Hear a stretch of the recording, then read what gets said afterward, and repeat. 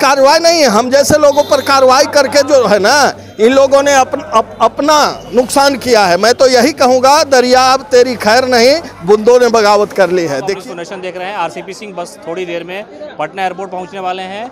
जितेंद्र नीरज जी हैं इनको पार्टी से निष्कासित किया गया था जब आरसीपी सिंह को राज्यसभा भेजने का मामला चल रहा था। आज तो आपके पार्टी आ रहे और पूर्व केंद्रीय मंत्री हो गए। नहीं, देखिए, पूर्व होना कोई बड़ी बात नहीं है। पूर्व तो तब होता है जब कार्यकर्ताओं के दिल से वो बाहर होंगे। आज देख लीजिए कार्यकर्ताओं का जो उत्साह है, अब तो सीख लेनी चाहिए। देखिए, कार्यकर्ताओं को गर्व है, ऐसे अनुशासित, पार्टी के अनुशासित नेता पर। और आज इन्होंने जो मापदंड इस देश में स्थापित किया, तब पार्टी के वैसे लोगों को जो शीर्ष पद पर बैठे हुए हैं, अब उनको भी सोचना चाहिए।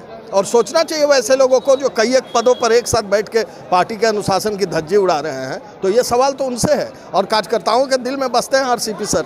देखिए कार्यकर्ताओं का उत्साह। ऐसा कहा जाता है कि जो आरसीपी गुट के लोग थे उन पर कार्रवाई आप पर भी कार्रवाई लेकिन आज बड़ी संख्या में लोग यहाँ पहुँचे हैं। अरे ये कार्रवाई नहीं है। हम जैसे लोगों पर कार्रवाई करके जो है ना इन लोगों ने अपन, अप, अपना नुकसान किया है। मैं तो यही कहूँगा दरिया अब तेरी खैर नहीं बुंदों ने बगावत कर ली है। देखिए। क्या लगता है अब तो केंद्रीय मंत्री से भी हट गए हैं तो अब तो पूरा का पूरा समय है? अब तो इनके पास पूरा समय है। जिम्मेवारियाँ अधिक थी। केंद्र में मंत्री थे तो मंत्रालय की जिम्मेवारियाँ थी अब तो ये फ्री हैं। कार्यकर्ताओं में उत्साह है। अब ये निकलेंगे और उसके बाद देखिए।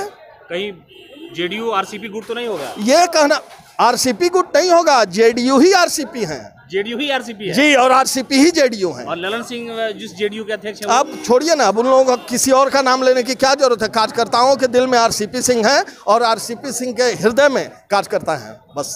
आरसीपी सिंह अभी थोड़ी देर बाद पटना एयरपोर्ट पहुँचने वाले हैं। बड़ी संख्या में जो उनको जो समर्थक हैं वो यहाँ मौजूद है उनका कहना है कि उन्होंने पार्टी के अध्यक्ष रहते हुए कार्यकर्ताओं को जोड़ा है। यही वजह है कि आप देख सकते हैं कि बड़ी तादाद में जो है पटना एयरपोर्ट पे उनके चाहने वाले जो लोग हैं वो जमा हुए हैं। आरसीपी सिंह को जनता दल यूनाइटेड ने राज्यसभा नहीं भेजा था और उसके बाद उनका जो कार्यकाल है, वो समाप्त हुआ और फिर उन्होंने कैबिनेट मंत्री के दर्जे से इस्तीफा दे दिया। कल उन्होंने बीजेपी के सीनियर नेता धर्मेंद्र प्रधान से भी मुलाकात की थी। राजनीतिक गलियारे में ये बात चर्चा में विषय बनी हुई थी।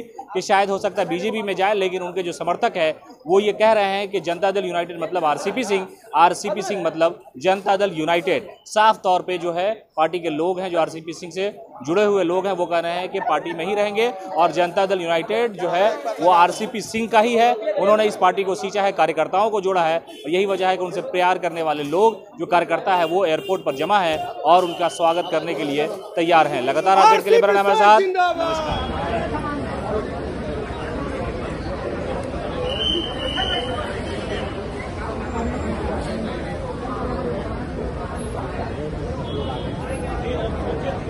क्या बोल रहे